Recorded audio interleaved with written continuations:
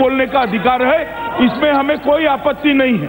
वो बोल सकते, अपनी बात रख सकते अगर वो कहते हैं कि श्यामा प्रसाद मुखर्जी जी ने 370 लाया तो वो रेफरेंस दे, कहाँ से वो ड्रॉ कर रहे हैं, कहाँ से बोल रहे हैं। कॉन्स्टिट्यूंट असेंबली में कब श्यामा प्रसाद मुखर्जी ने कहा?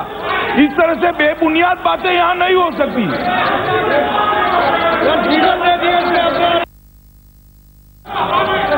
मुझे कहने दीजिए स्पीकर साहब अगर अगर उन्होंने अगर आप क्या वो कैबिनेट में शामिल नहीं थे? क्या वो क्या स्पीकर साहब क्या क्या क्या उन्होंने क्या तीन सौ सत्तर सर्व सर्वसम्मति से नहीं हुआ? मान्य सदस्य प्लीज़ मान्य गृह मंत्री जी ने बोल दिया आप देखिए आप बैठिए। देखिए स्पीकर साहब हाँ, बोलिए, देखिए जनाब अगर आपको कॉन्स्टिट्यूट असेंबली के डिबेट में मिलेगा वोट किसी ने खराब किया। सदस्य या- एक मिनट एक मिनट या एक मिनट मान्य एक मिनट एक मिनट मान्य सदस्य मान्य सदस्य प्लीज़ ये सदन है, आपको बोलने का पूरा अधिकार है।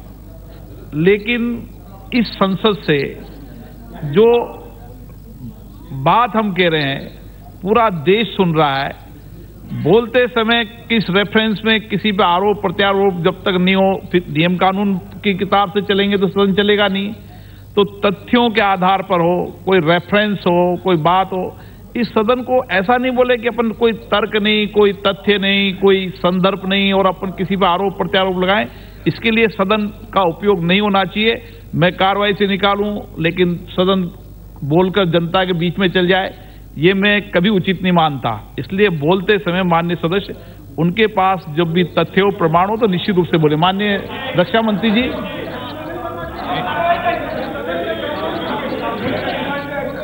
उनको मान रख नहीं कहना चाहता बस इतना ही आपके माध्यम से अपेक्षा करता हूँ माननीय सदस्य से जिन्होंने कि अपना विचार व्यक्त करते हुए यह कहा है कि डॉक्टर श्यामा प्रसाद मुखर्जी ने ही 370 का प्रस्ताव लाया था तो मैं चाहता हूँ कि इसको वो ऑथेंटिकेट कर दें मैं चाहता अ- अ- अ- कह- का इस, इसका कोई ना कोई रेफरेंस आपके पास होगा तो रेफरेंस की भी इस सदन में चर्चा करें तो ज़्यादा उचित होगा इतना ही कहना यदि नहीं है इसका रेफरेंस नहीं है तो आपको सदन से क्षमा मांगनी चाहिए यही मैं। स्पीकर साहब स्पीकर साहब स्पी- स्पीकर साहब मैंने नहीं मनीष जी केवल Hasnain Masidi ji speaker speaker speaker साहब मैंने कभी ये नहीं कहा कि उन्होंने लाया रेजोल्यूशन लेकिन ये है कि क्या ये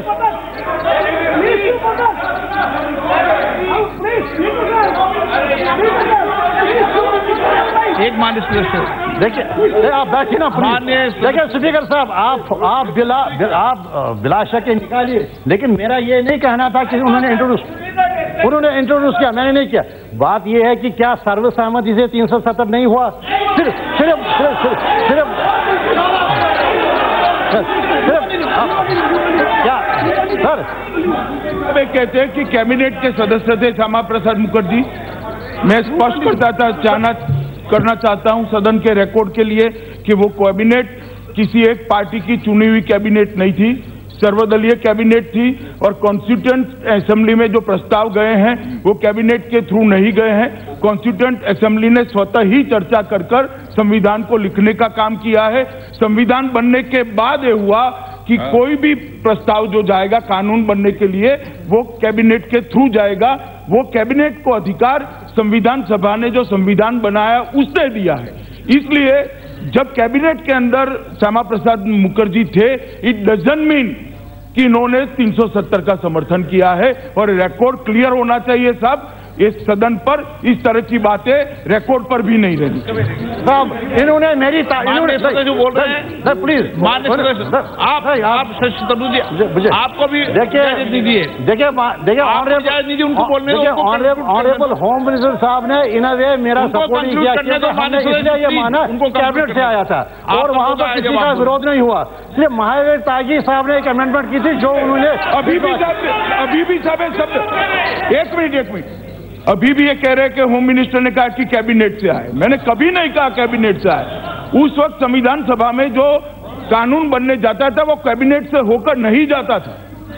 कैबिनेट में होकर जा कानून बनने के लिए जाने का सिलसिला संविधान बनने के बाद देश की कैबिनेट को मिला है। उस वक्त स्वतः ही संविधान सभा अपनी चर्चा कर कर संविधान को घड़ रही थी बना रही थी। इसलिए श्यामा प्रसाद मुखर्जी कैबिनेट के सदस्य थे। इट डजन मीन कि उन्होंने 370 को समर्थन किया।